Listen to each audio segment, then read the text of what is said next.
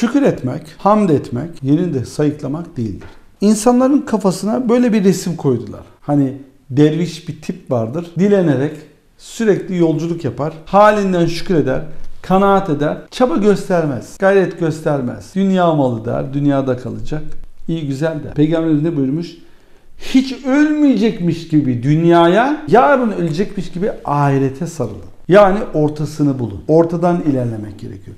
Ortadan ilerlediğin zaman her zaman başarılı olursun. Dolayısıyla hani böyle hocam memnunum hayatımdan, kanaat ediyorum. O yüzden 30 seneden beri aynı devam ediyorsun. Aynı dükkanda devam ediyorsun. Millet dijitalleşti, teknolojiyi kullanıyor, interneti kullanıyor, müşteriyi oradan kazanıyor. Dükkanı kapattı, bürodan satıyor ürünlerini. Sen hala 30 seneden beri aynı tas, aynı ama. Hiç duymadın mı? İki günü bir olan, aynı olan ziyandadır. Bunu duymadın. Bu hadis-i şerif sevgili arkadaşlar. Dolayısıyla devamlı kendini geliştirmek için aç olman lazım.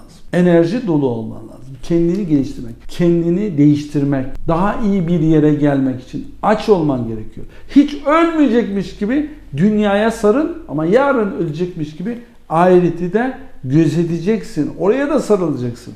Ortadan ilerle. İşte o zaman başarırsın. Şükretmek yerinde saymak değildir ki. Hamd etmek yerinde saymak değil ki. Öyle yan gelip yatmak değil ki. Şükretmek sana verilen nimetin şükrünü teşekkür etmek. Bak bunlar var çok güzel. Minnettarım ama iki günün bir olmamalı.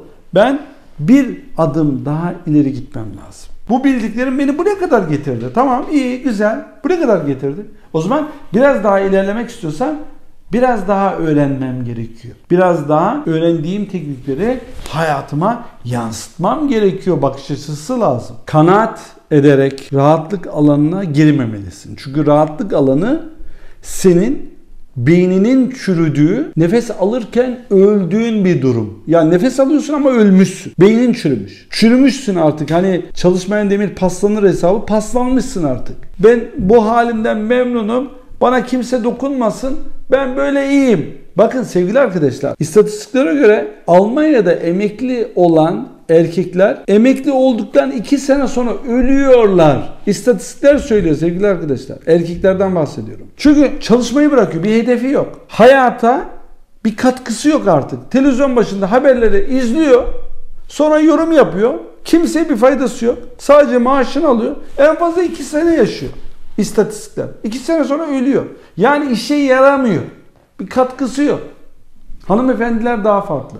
Hanımefendiler daha önceden de bulaşık yıkadığı için, çamaşır yıkadığı için veya evdeki işlerle uğraştığı için emekli olduktan sonra da o davranışları devam ettiriyorlar. Yani o çalışmayı, o gayreti devam ettiriyorlar. Dolayısıyla emekli kadınlar erkeklerden çok çok çok daha uzun yaşıyorlar. Niye? Bir hayat amacı var, bir hedefi var. Çalışmaya alışmış. Hani o bana bu yeter ben çalışmıyorum artık emekliyim bundan sonra bulaşık yıkamayacağım demiyor. Bana dokunmayın ben emekli oldum ben çamaşır yıkamayacağım ben bulaşık yıkamayacağım demiyor. Gayret gösteriyor uğraşıyor. Bu sadece bir örnek sevgili arkadaşlar. O yüzden böyle yan gelip yatmak yok. Rahatlık alanına girmek yok. Konfor alanına girip çürümek yok sevgili arkadaşlar. Hülasa burada ne öğreneceğiz? Hem şükür edeceksin, minnettar olacaksın sana verilen nimetleri göreceksin. Şükrettiğin zaman nimet çoğalır biliyorsunuz. Şükür nimeti çoğaltır. Şikayet derdi çoğaltır.